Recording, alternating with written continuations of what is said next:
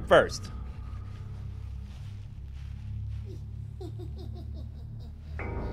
How long can he keep it this going? Will the mugs show up on stream? Uh, yes. Uh, the mugs are being shipped here, so once they finally get here, then it's when they'll ship out. Um, not before. The sh- shirt sold all over my face. Oh, it, oh wait, it is, isn't it? So you're saying that if someone buys a shirt, they're gonna cover up my face, so they can troll? Hmm. How clever. How clever. Uh, we'll move it up there a little bit. On the top of my face. Okay. Oh, thank you, Tucker, for buying a shirt. I appreciate that. Lovely color there. All right. Ah, we're going right back into the cutscene. So what happened was we got out of the out of the dark school world. Now we're back into what looked looked like our world, but there's still shadow creatures in there. And this girl talking to us about how they control her mind and stuff. It, it's weird. All right, so I gotta get in character. Okay, I gotta get in the character. Anime girl.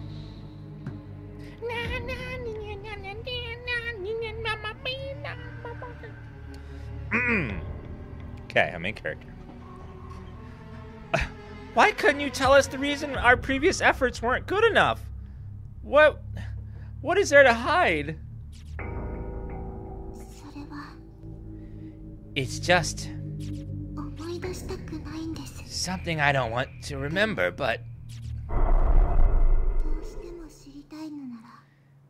if you really want to know, I'll tell you.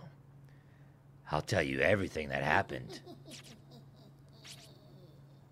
Yuki's spirit gently took hold of Ayumi's hand, and in an instant, their two beings seemed to merge together into a single scissors.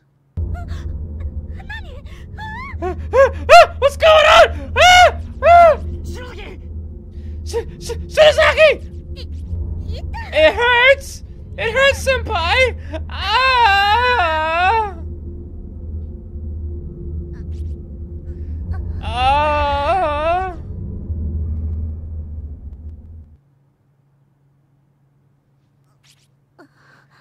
Uh, どうなったの what? 私 What happened?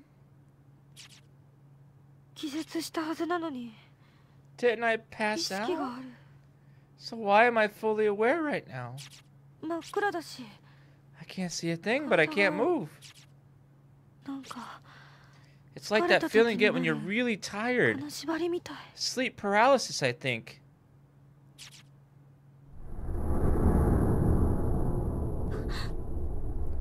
Uh, where? Why can't I move?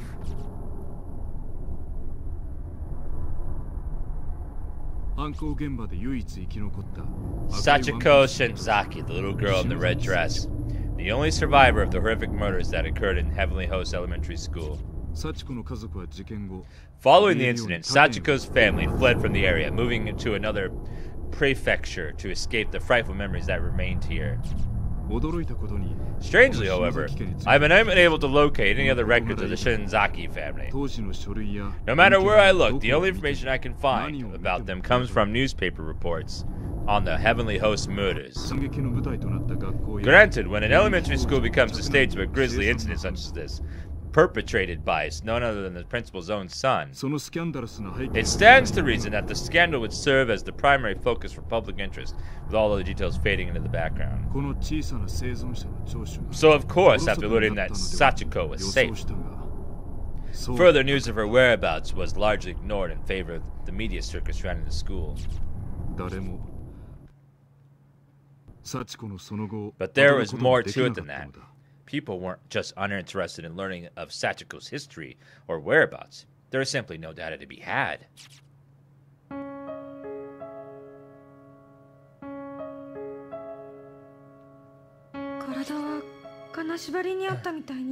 I can't move my body because of sleep paralysis, I guess. But I can clearly see the room I'm in now. There's one boy and two girls in here, aside from myself, making that MMFF. I recognize them. They're the children who were killed in Heavenly Host during the incident, but they're still alive. Unfortunately, they're all bound hand and foot and just sprawled on the floor, and so am I. That's the real reason I can't move. Oh, we gotta change the name of the game. Whoops. We switched games. Hold on. Corpse. Corpse party.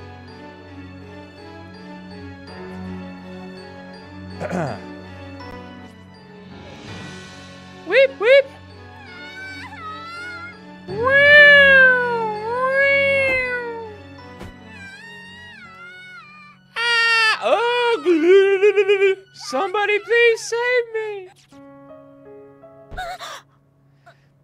Gasp.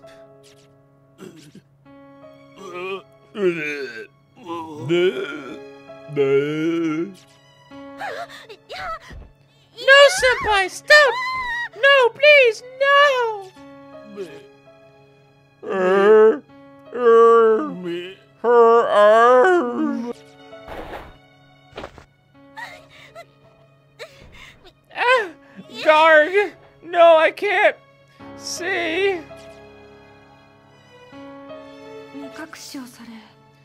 Now I'm blindfolded. I can't see a thing that's happening to me. And, I, and since my hands and feet are tied up, I can't remove the blindfold either. That just makes everything so much worse. I guess because I can't see, I begin to listen more intently.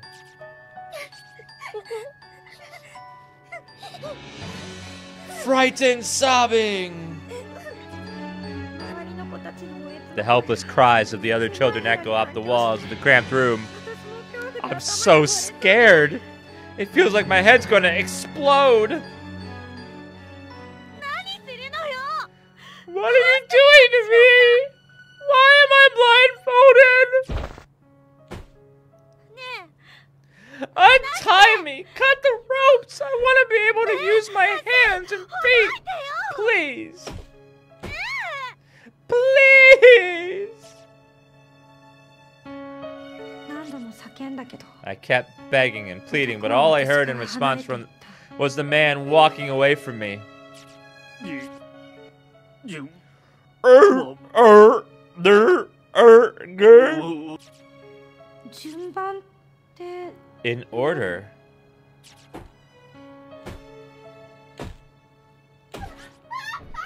Ah! ah!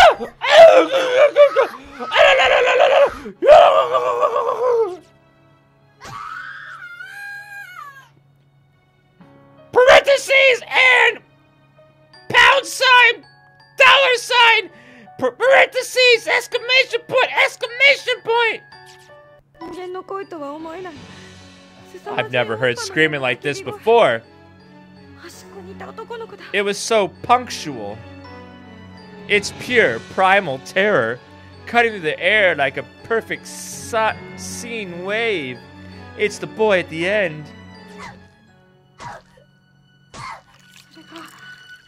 It feels like he's been screaming for an eternity. I think he's been killed. Right now.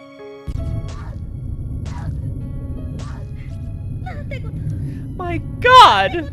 What the hell is he doing to him? No one deserves this! Why isn't God why isn't God allowing him to fall unconscious so he doesn't have to suffer?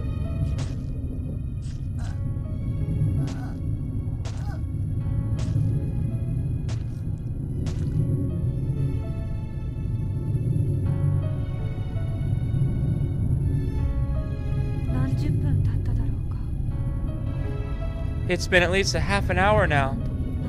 Those inhuman screams of a young boy being raped, ripped apart from the inside have finally come to a halt. No! No! Without even a single moment of silence, the first one of the girls in line is the next to scream for her life, and the symphony goes on.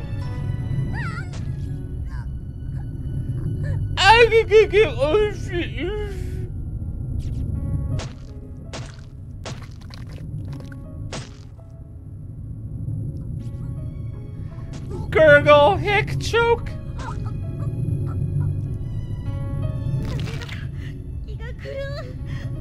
God can't take any more of this. I'm losing my mind.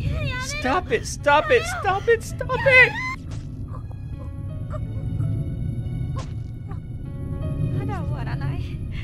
Is it still going on? Come on, just die already.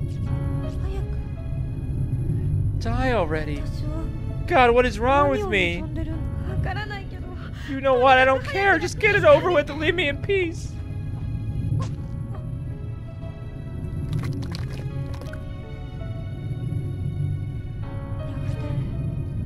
Finally, after hearing a sound like a heavy object being dropped, the noises stopped. The room grew quiet again.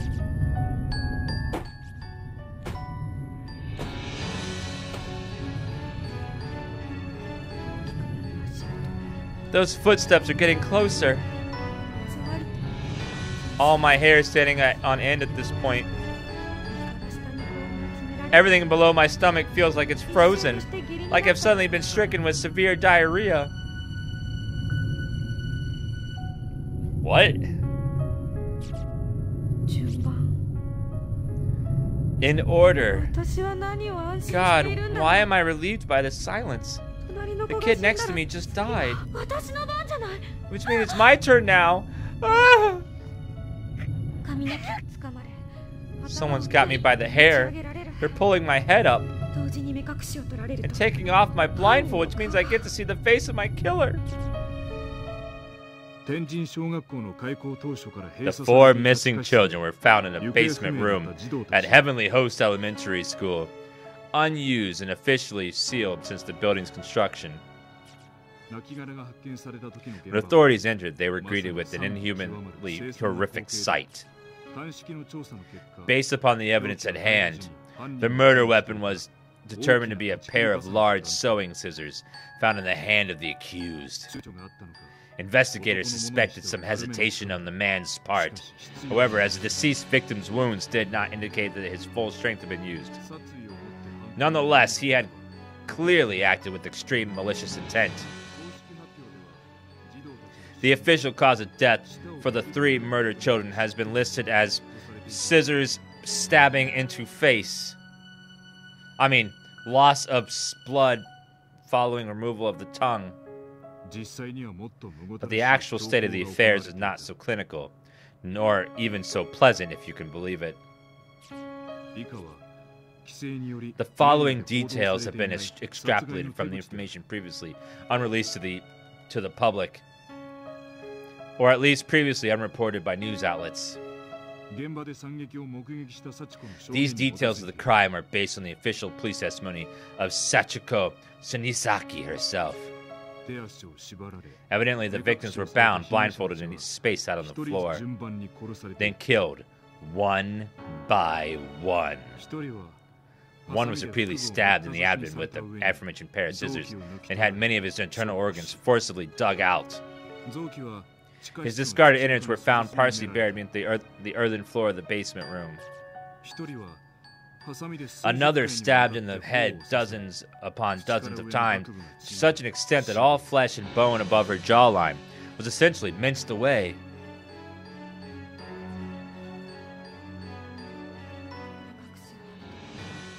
With my blindfold removed, the sight that appeared before me was more horrific than anything I could have possibly imagined.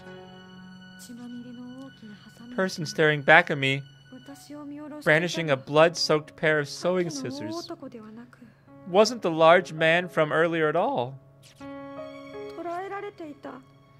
He was one of the children. There was a little girl. Her face dyed red with the blood of her victims.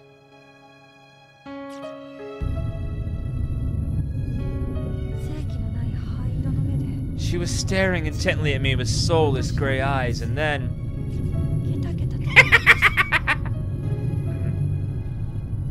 she just started giggling. I was right. Oh, I, I knew I, I was acting the part.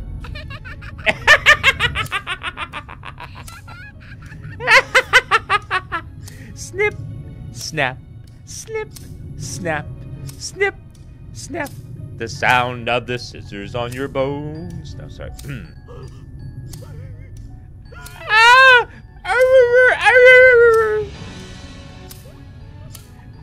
Giggle, giggle. She was opening and closing the bloody scissors over and over again. The sound kept echoing to the room. Then she took those dull, rusty, thoroughly blood soaked blades and slowly brought them closer and closer to my left eye.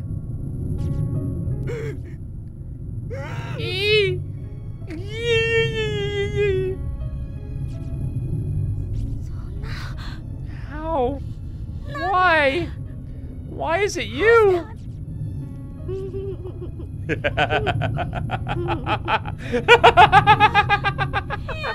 no! No! No!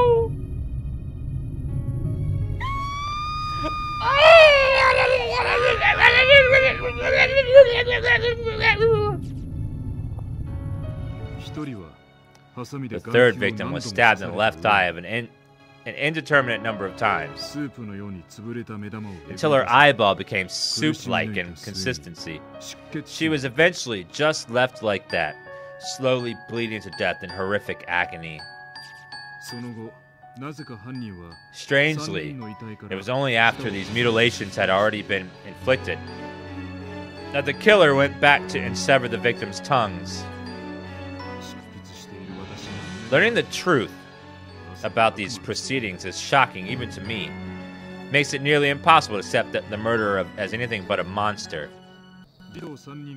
And bearing witnesses to every moment of this was a seven-year-old girl named Sachiko. In many ways, she's the most pitiable and long-suffering of them all. But it was through her tearful, frightened testimony that Yoshikazu Yanagori was officially charged.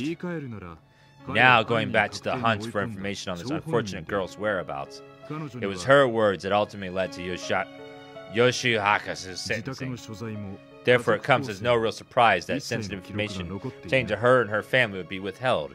That's to be expected. What's not expected, however, is that there's not even the slightest traces of information left to find. It's as if simply never existed. But I did find that the DansGaming Horror Month t-shirt was available now, and the link was right below the channel. Therefore, I cannot help but consider alternate possible explanations, and I remind you, this is mostly conjecture. But one question keeps nagging at the back of my mind. Was Yok was was Yaganori really the murderer of the three victims?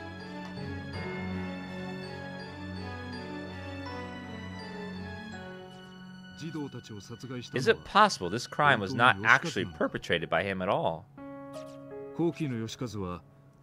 Think about it. In his final days, Yoshikazu was incapable of communicating with others through speech. And despite his childlike reversion, he'd always been a per- personable and friendly man. As the saying goes, he wouldn't have hurt a fly. All his relatives, friends, and neighbors confirmed as much. Shocked that such a kindly man could commit these uh, unconscionable atrocities. He certainly had no motive for the crime either. There was nothing for him to gain from it.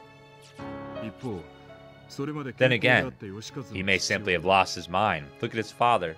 It was around the same time that Principal Takamine Yanagori suddenly began speaking in tongues and acting in the most peculiar way.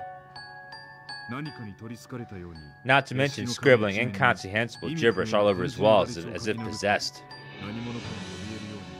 He seemed frightened of someone who would often be found crouching in the corner of his office, moaning and thrashing when visitors came by. If he could wind up in such a beleaguered state with no warning, perhaps too could his son. I believe that we're looking at a curse far more powerful than, any, than anything man could devise. From the time it opened its doors to the day it's closed them forever. Heavenly Host Elementary School's sealed basement room has existed for, for as some form of cursed ground. And to find the underlying cause, we must go back beyond the infamous kidnapping and murder incident. Back a whole 20 years. I believe I have found a clue that could shed some light on the situation, and it may be a far less fetched as the leads go, but it's a lead nonetheless. Regrettably, since Heavenly Host was not only closed down but demolished altogether, another school built in its place. It's no longer possible to investigate the basement room directly. But my protege has found what may be the next best thing. A Horror Month mug, where the link is available below the channel. No, no, no, sorry, that was not there. Uh, something that could make the impossible possible once more. Preparations are being made to pursue this even lead even now. Be sure not to miss the next installment. It may be the scoop of a lifetime.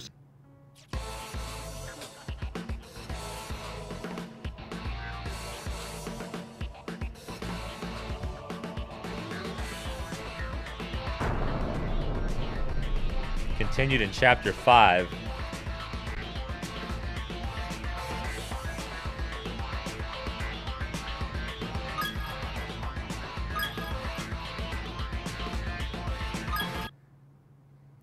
Okay.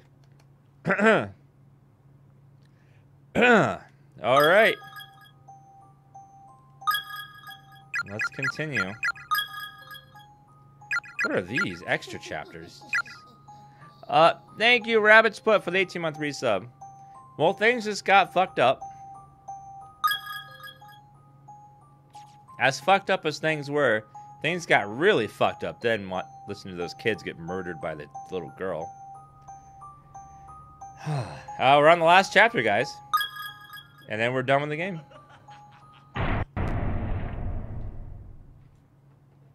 Alright, so it got fucked up. That's why I probably get even more fucked up now. Yay! Who likes fucked up stories? Alright. So, like, for people that have beaten this before, does it get even more fucked up than it already got? Like, just way fucked up, right?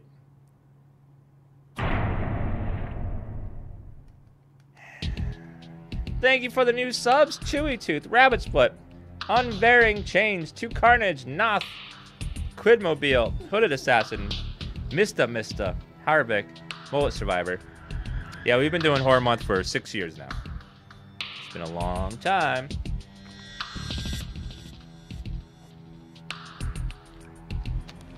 Fifteen thousand viewers. Hal, I flaunt my body. Look, look at this. Look at this blatant, just like sexy man cleavage going on here. Shameless. I am shameless. I am sitting here sexually enticing you, and I'm sorry. I apologize. okay. Get back into it.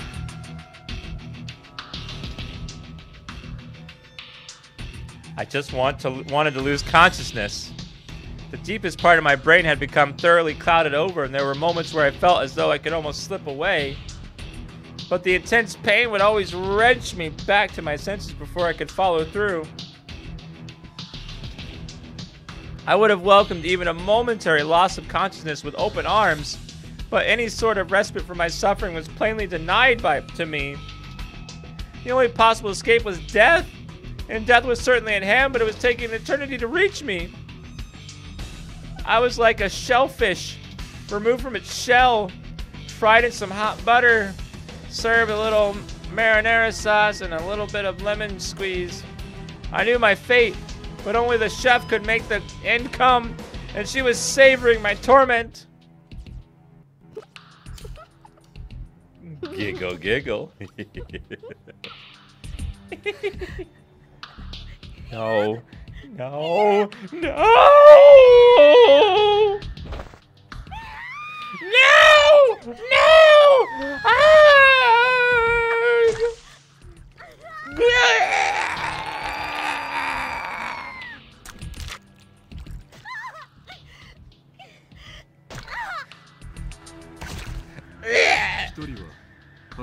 The third victim was stabbed in the left eye an indeterminate number of times.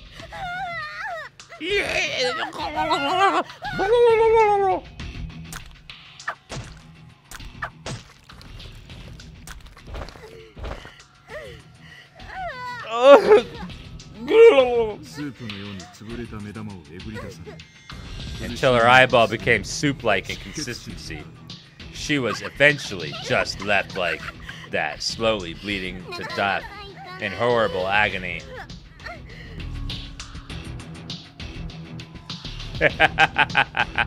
You're a tenacious one, aren't you? it hurts! It hurts! Somebody help me!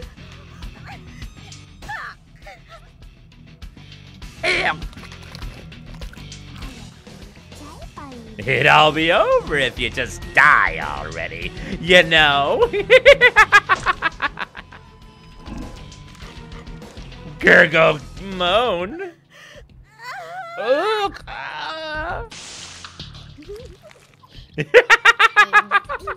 there. Now that it's nice and mushy, let's see if we can scoop it out. At colon pound sign. Okay, moving on.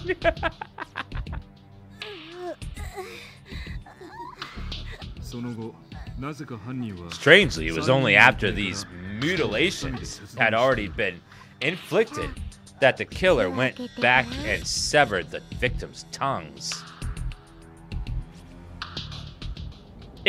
now open up and say ah. no, no, please,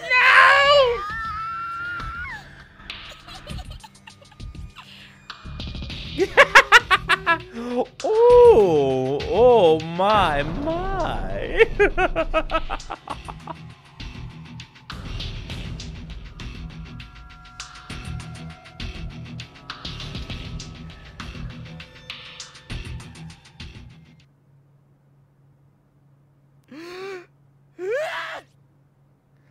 Ho!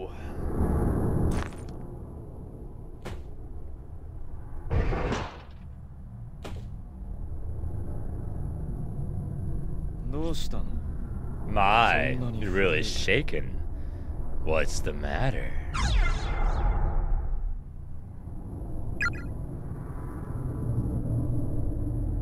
Stay silent.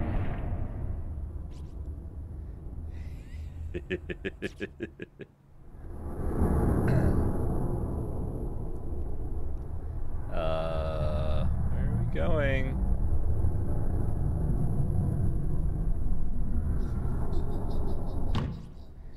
Uh, this guy that's following us murdered his friend right here. That's why there's blood everywhere. And push him down the hole. Yuka. I wouldn't recommend going that way. Something dreadful happened downstairs just a moment ago. Huh?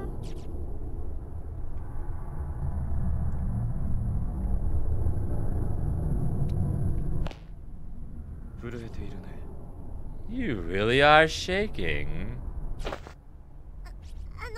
Um, may I ask what your sister is like? Oh, certainly. She's a very cute little girl. Quite small, but with big, great, big eyes. I see. Her hair is short, and she's in junior high school.